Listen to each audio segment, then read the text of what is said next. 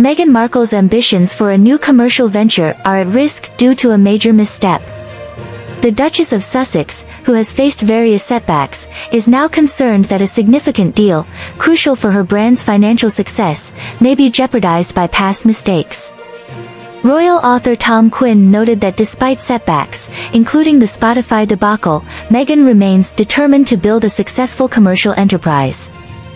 However, she has struggled to craft a distinctive brand image, and her previous errors could undermine her plans.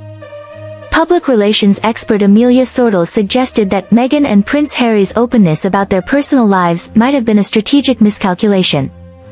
By revealing too much of their authentic story, they have become predictable, which could impact their brand negatively. Meghan's lifestyle brand, American Riviera Orchard, is scheduled to launch later this year, following the resolution of patent issues. The launch will be paired with a cooking show on Netflix. However, Quinn cautions that any further missteps could have serious consequences, particularly given their previous challenges with Spotify. The Sussexes did not meet their productivity benchmarks with the platform, making it crucial for Meghan to avoid additional errors. The loss of the Netflix contract would be a devastating blow for Meghan, making it nearly impossible to recover. Quinn emphasized that Meghan's goal is to avoid the embarrassment of having to negotiate with smaller companies, a scenario that might become a reality if current issues are not addressed promptly.